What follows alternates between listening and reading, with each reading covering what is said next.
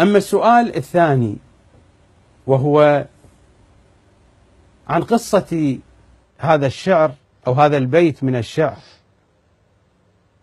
فإن النار لا تمس جسما عليه غبار زوار الحسيني هذا الشعر لشاعر من شعراء الشيعة هو الشاعر الخليعي.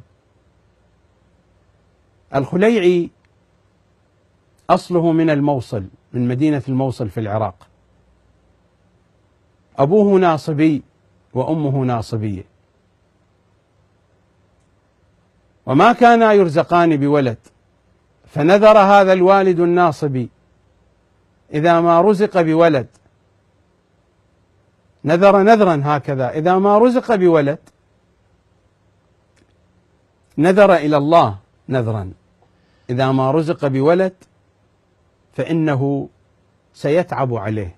يربيه ويعلم فنون الفروسية والقتال وينذره أن يكون قاطع طريق على زوار الحسين. هذه قصة الخليعي في أصلها. أبوه ناصبي أمه ناصبية وكان منذورا لأن يقطع الطريق على زوار الحسين. وفعلا هذا الناصبي رزق بولد. هو هذا الخليعي هذا الشاعر الخليعي.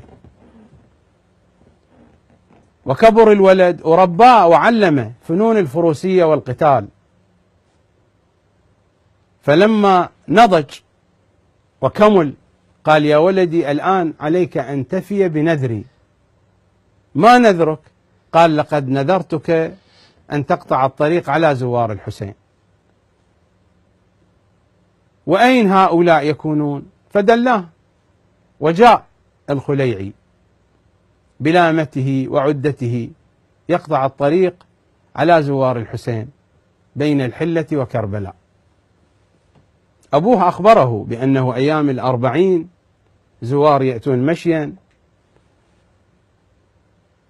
فقطع الطريق نصب له خيمة وكمين وينتظر الزوار يأتون.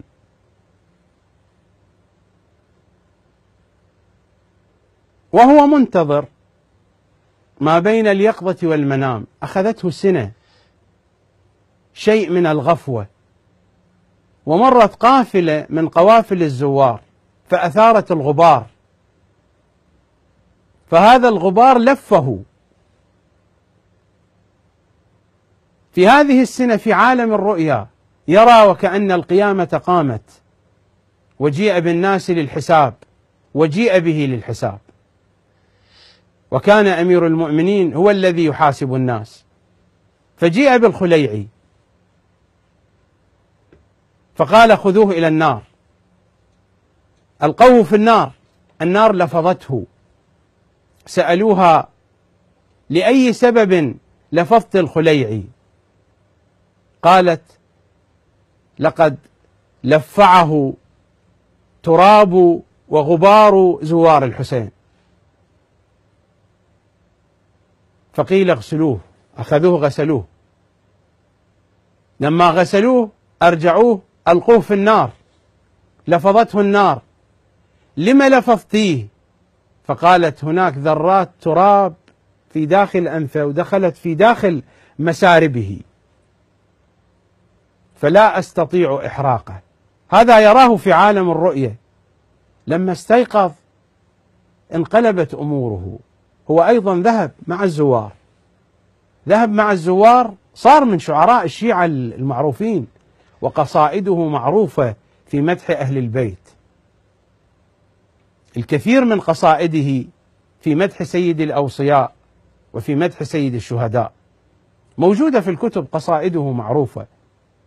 فاتجه باتجاه كربلاء وهو يقول إذا شئت النجاة فزر حسينا حيث تلقى الإله قرير عيني فإن النار ليس تمس جسما عليه غبار زوار الحسين. السلام على الحسين الوجيه وعلى جده وأبيه وأمه وأخيه والتسعة المعصومين من ذريته وبنيه ورحمة الله وبركاته.